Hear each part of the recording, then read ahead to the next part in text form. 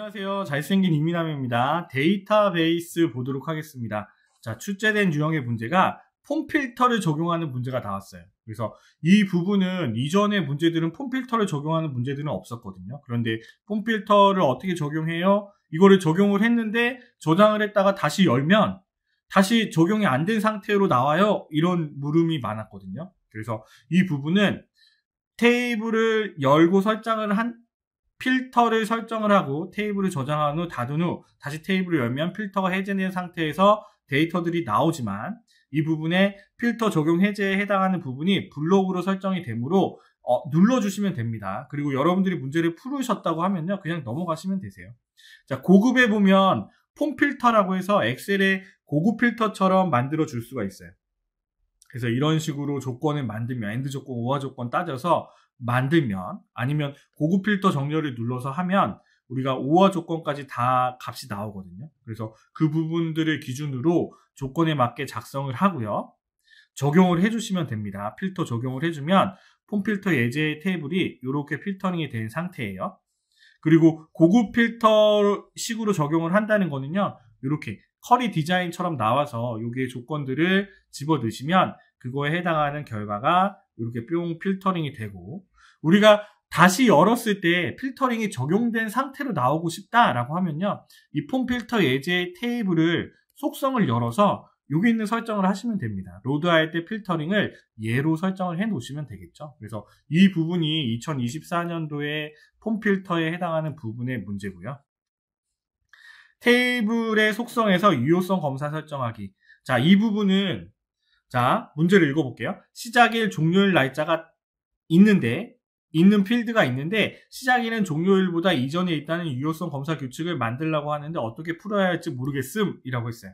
근데 이 부분은 필터가 시작일이라는 필터가 있고 종료일이라는 필터가 있잖아요. 그러면 이 부분에서 우리는 다르게 설정을 해줘야 됩니다. 그러면 여러분들이 생각을 할 때 데이터 유효성 검사를 시작일에 걸어야 될까요? 종료일에 걸어야 될까요? 근데 이 부분은 그 부분의 문제가 아니라 테이블의 속성 창에 들어가서 유효성 검사 규칙을 해줘야 되는 겁니다. 왜냐하면 이 테이블 1에서 내가 이 테이블을 열었을 때 시작일, 종료일, 필드에 대한 유효성 검사잖아요. 그렇기 때문에 얘는 테이블의 속성 창에서 설정을 하는 거고 시작일을 기준으로 내가 어떤 날짜 이후로 표시하시오라고 하면요. 시작일 필드에서 적용을 해주시면 되겠죠. 근데 액세스는 날짜를 표시할 때 뭐 샵으로 서로 감싸준다는 거로 해주면 되고요.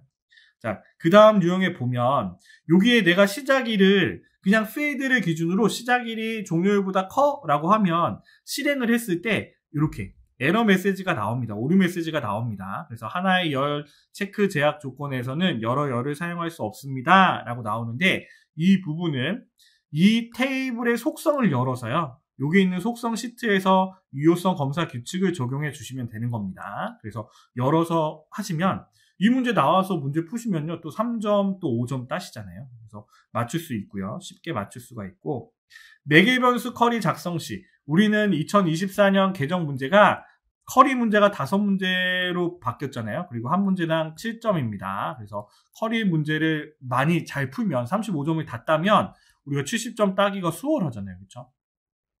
4개의 변수 커리 만들기 문제였는데 하나의 필드에 대한 질문이 AND 함수를 이용하여 두 개를 설정해야 하는 문제였어요.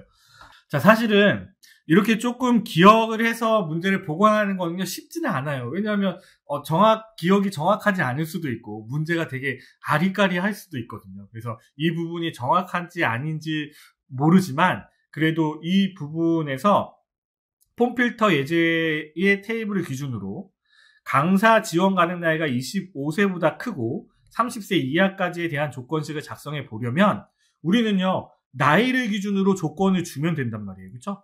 그런데 지금 얘는 매개 변수로 만들라고 했어요. 그러면 이 부분을 어떻게 하면 되냐면 이 숫자 그대로 우리는 매개 변수 커리를 만들 때 대괄호를 치잖아요. 그래서 지원 가능 입력 받을 값을 입력을 하고 25보다 크고 지원 마감이라는 문자를 집어 넣어서요. 그렇죠? 30을 집어넣으면 25에서 30보다 작거나 같은 값이 필터링이 되겠죠. 그래서 end라는 함수를 써서 이렇게 사용을 하시면 됩니다. 간단하죠? 그래서 end라는 함수를 다 사용을 해서 이렇게 결과를 갖고 오면 되는 문제가 있었고요. 그리고 또 많이 물어봤던 문제가 내가 어떤 텍스트 컨트롤 상자에 날짜 형식으로 표시한다라고 돼 있어요. 그래서 이런 식으로 표시를 하면 이거는 일부러 얘, 얘를 빼긴 뺐는데요. 이런 식으로 내가 불러와서 시작 시작 시간, 종료 시간을 기준으로 내가 이런 형식으로 표시해서 표시되도록 하시오라고 하면요. 포맷 함수를 두 번 쓰는 겁니다. 그래서 문자열로 물결도 따로 문자열로 표시하고 ampersand를 써서 뒤에 있는 값들을 각각의 값들로 입력을 해주시면 됩니다. 불러와서 필드명을 불러와서 값을 입력을 해주시면 돼요. 그리고 우리는 YYY, MM, DD 이 부분 알죠? XS는 HH, minutes가 N으로 계산하는 거예요. NN. 그리고 초는 S, second.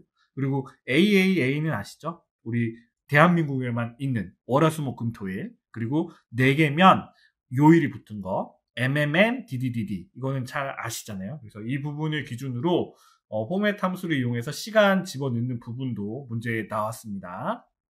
그리고 남녀 형식으로 입력되도록 데이터 형식과 형식을 변경하시오. 이 부분도 이렇게 나와 있어요. 그래서 무슨 부분이냐면 성별에 이렇게 체크란으로 표시가 되어 있습니다. 그러면 yes, no 형식으로 바꿔 주신 다음에 이 부분에 속성에 들어가서요.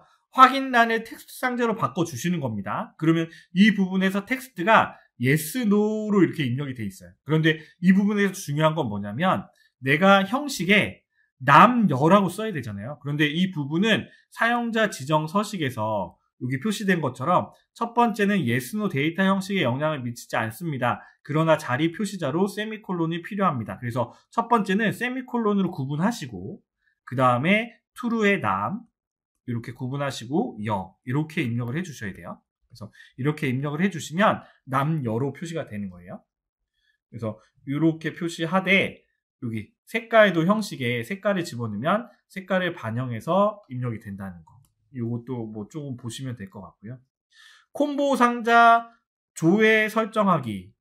이 부분은 조금 애매한 부분이에요. 그 물어보셨는데 이 부분이 다른 테이블에서 어떤 필드를 갖고 오고 아니면 이 필드가 아예 없는데 만들어서 집어 넣으시오라고 하는 문제인데 그 부분은 제가 좀 복원을 하지 못했고요.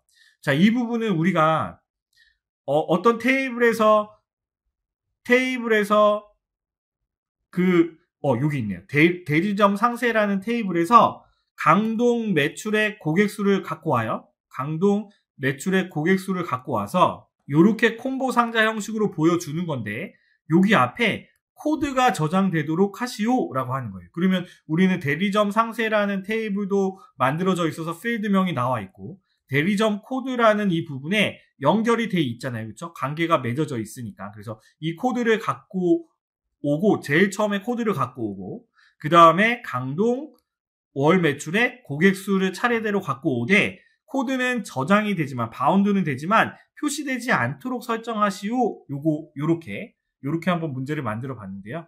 그러면 두 개의 테이블을 다 갖고 오면 되겠죠. 그래서 순서대로 코드 대리점명 월 매출의 고객 수를 갖고 온 다음에 이 부분의 열을 안 보이게 만들어 주는 거예요. 그래서 0cm 1, 1,1,1이라고 하면 이렇게 첫 번째 갖고 온 값은 안 보여지고 네, 나머지 세 개의 값만 보여지게 만들어 주는 거죠. 그래서 이 부분도 그러면 보이기는 이렇게 보이지만 이렇게 보이지만 내가 선택을 해서 저장되는 바운드 되는 값은 여기에 해당하는 코드 값이 보여진다는 거 그거에 해당하는 문제고요. 그래서 대리점 코드를 불러오면 리버 2로 이렇게 불러온다는 겁니다. order by를 이용해서 정렬하기. order by 절은 어, 정렬하는 거잖아요. 그래서 이 부분에서 학년으로 내림차순 정렬하고 이름별로 오름차순 정렬하는 코드를 작성하시오. 그러면 me점 order by에서요. 학년 큰 따옴표 안에 우리는 me점 me, me점 filter filter on에서 큰 따옴표 안에 조건을 썼잖아요.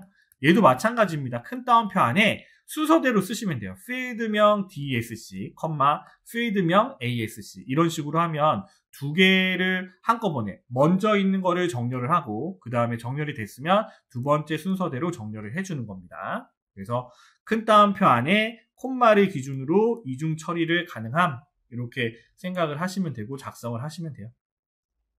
조건부 서식에서 and와 or 함수를 써서 조건을 만들어서 적용하는 조건부 서식 문제예요. 그래서 이 부분은요. 우리가 and 함수, or 함수를 써서 엑셀처럼 A 조건, B 조건 집어넣는 게 아니라 XS는 그냥 쭉 이어서 쓴다고 했잖아요. 그런데 이 부분에서 학점이 A이거나 B이기 때문에 이 AND랑 연결하기 위해서 우리는 뭘 써줬다? 처음에 가로를 열어줬다는 거. 그쵸? 그래서 여기에 해당하는 부분 AND 조, A에 해당하는 조건이 이것도 만족을 하고 true가 나와야 되고 그쵸? 그리고 점수가 80에서 100 사이일 때 이것도 만족을 하면 이렇게 적용을 해줘 라고 하는 조건이었습니다. 그래서 between A and B라고 했는데 점수라는 필드를 지정을 해줘야겠죠. 그래서 대괄호에 점수를 집어넣고 between A and B를 사용해 주시면 됩니다. if문을 사용해서 해당하는 필드명의 밸류값 만들기, 널값 지정하기. 그래서 이 부분은 이런 게 있었어요. 내가 이 부분이 if의 iif의 조건이 사가면 사가고 나머지는 뭐 기타로 집어넣고 아니면 가일로 집어넣으세요 라고 하는 거예요. 그러면 조건이 뭐예요? 내가 선택한 이 가일명이 사가이면 사가라고 집어넣고 나머지는 가일로 표시하시오. 이런 식으로 IIF 문을 사용해서 만드는 건데 어, 이렇게 한번 생각해 보세요. 상태가 제약이면 제약이고 제약이 아니면 그냥 값을 안 주는 거예요. 그래서 널 값으로 지정을 할 때는 거짓 값에 엑셀처럼 집어넣는 게 아니라 그냥 가로를 닫고 마무리를 해주면요. true에 해당하는 값들만 들어가고 그렇지 않은 값에는 그냥 널 값이 들어가는 겁니다. 그래서 그 IIF 함수 조건절을 써서 입력하는 부분이고 결과를 갖고 오는 커리 문제가 나왔고요. 그리고 like절을 사용해서 우리 조건절에 이렇게 입력을 하는 거예요. 데이터들이 있고 필드에 각각의 값들이 들어가 있고요.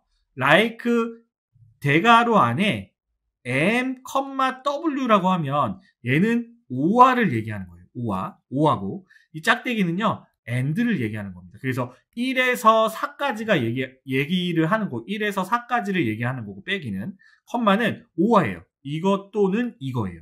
그래서 이 부분에서 내가 시작하는 값이 m이나 w로 시작을 하고 그쵸? 마지막에 끝나는 값이 1 또는 3, 4 1, 3, 4에 해당하는 값을 필터링을 해줘 라고 한 거고 그쵸? 그리고 얘는 뭐예요? 시작하는 값이 10이고 그리고 얘는 1 빼기 3이니까 101, 102, 103이 되겠죠. 그쵸? 이거에 해당하는 조건 이거나 5와 like 10, 10에서 1, 2, 3이겠죠? 1, 101, 102, 103이 오는데 뒤에 별이 붙었으니까 여 기는 여기에 해당하는 부분, 뒤에 있는 부분들도 다 갖고 오는 거고 앞에 있는 부분은 딱 뭐예요? 101, 102, 103만 갖고 오게 하는 부분입니다. 그래서 이 부분은요, 쉼표는 5하고 빼기는 어디부터 어디까지다 이 부분을 생각하고 있으면 like 절에 저 와일드 카드 문자를 사용해서 값을 갖고 올 수가 있겠죠. 그래서 이 부분도 사실은 그렇게 어렵지 않습니다. 여러분들이 조금 이 부분들을 연습해 가시면 또 한 문제를 쉽게 만들, 맞출 수가 있어요. 필드의 값이 없으면 빼기 표시 아니면 필드 개수를 구하시오 라고 했는데 이 부분은 두 가지 유형입니다. 지금 여기에 설명하는 query식으로 만들 수가 있고 아니면 또 값에 여기 값이 나왔으면 여기 있는 부분들이 없는 값에 빼기가 들어가게끔 설정해 주는 부분이 있거든요. 그래서 이 부분은 내가 우리는 피벗 피벗 테이블이 crosstab query라고 했잖아요. crosstab query에 행머리글, 열머리글 값을 집어넣어서 실행을 한 다음에 결과를 보면서 만들어 집어넣는 건데 행머리글을 만들 때 이름의 값이 IsNull 빈칸이면 나는 빼기를 입력을 하고 그렇지 않으면 이름을 입력을 해주는 겁니다. 그러면 이 학생명을 기준으로 값이 없으면 이렇게 빼기로 입력이 되고 나머지 친구들의 이름은 다 갖고 오겠죠. 그리고 이 부분에서 내가 이름이 이름을 기준으로 남녀 성별을 기준으로 열머리글을 기준으로 얘네들이 남자면 여기에 체크, 여자면 여기에 체크 되게끔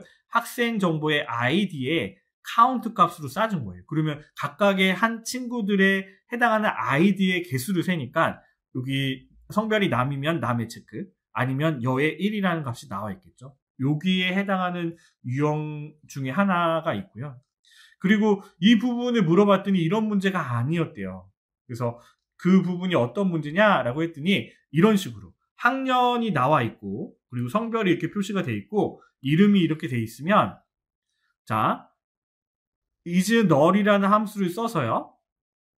이름을 집어넣고 그러면 이름이 없는 값에는 자 빼기가 표시가 되고요. 그렇죠? 이름의 값이 있으면 카운트로 해서 표시를 해준다. 이렇게 표시. 그래서 밑에 있는 예제를 한번 만들어 봤습니다. 그래서 이 부분은 한번 예제를 한번 풀어보세요.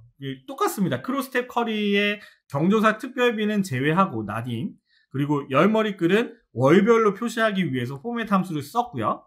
그 다음에 IF 이게 문제죠. IIF 카운트 함수를 이용을 해서 여기에 들어가 있는 빼기 표시를 할 때 어떻게 표시를 하면 되니 이거잖아요.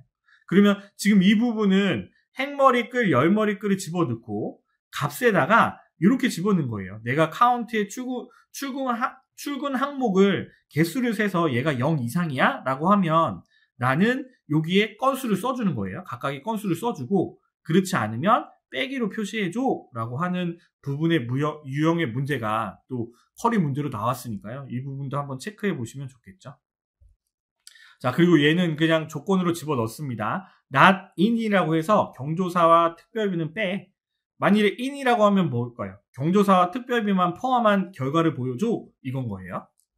자, 그 다음에 right and o 함수를 사용한 조건 작성화. 이거는 위에 비슷한 게 있었어요. 그쵸? 그래서 분류명의 필드명의 마지막에 값이 b이거나 금으로 끝나고 금액 필드의 값이 2만원 이하이거나 10만원 이상일 때 본문의 모든 컨트롤에 글꼴 스타일을 굵게 빨간색으로 설정할 것. 그래서 이 부분도 마찬가지. 내가 이 end라는 함수를 연결하기 위해서 여기 가로를 쳐줘야 된다는 거. 여기에 큰 A 조건이고 얘가 큰 B 조건이고. 그래서 빨간색이 A 조건이면 얘가 B 조건이고 두 개 다 true true일 때 적용해줘 라고 하는 서식입니다. 그래서 액세스를 이렇게 또 한번 살펴봤고요.